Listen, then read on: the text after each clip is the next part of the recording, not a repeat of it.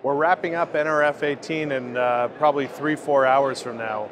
And uh, so far, it's just been a phenomenal event. Uh, this is uh, our fourth NRF as, uh, as an organization and happens to be uh, one of our best. The booths have been full all three days. We've met phenomenal organizations talking about employee engagement. One thing that's really stood out at NRF 18 has really been um, uh, a couple of different trends. Retail continues to go through a transformational process right now, redefining the store experiences uh, with the addition of uh, different technologies, including some AI and robotics.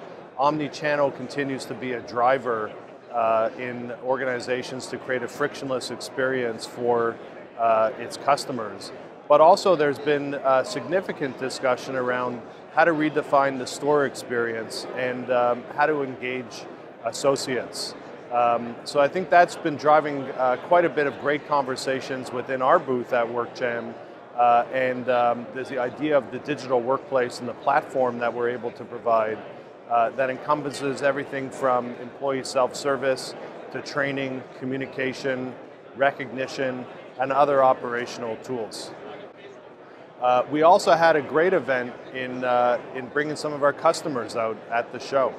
We had Target Australia and Macy's that spoke at the Big Ideas session and talked about their employee engagement strategies and how they're utilizing WorkJam in order to drive significant change in their organization, both from a knowledge perspective down to the field level, but also some transformational processes that are redefining the customer experiences within their organizations.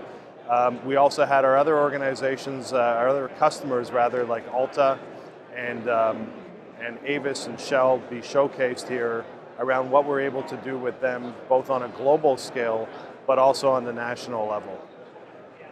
With that, um, I'd just like to close out to say that we're really looking forward to next year's NRF uh, and, uh, and also following up with a lot of the great organizations that we've met at this show and continuing the discussions that we've had around how organizations can implement technologies to really make a significant difference in building those digital relationships in their organizations, driving productivity, cost reduction, and creating a much more seamless experience for their customers within their locations. Thank you very much.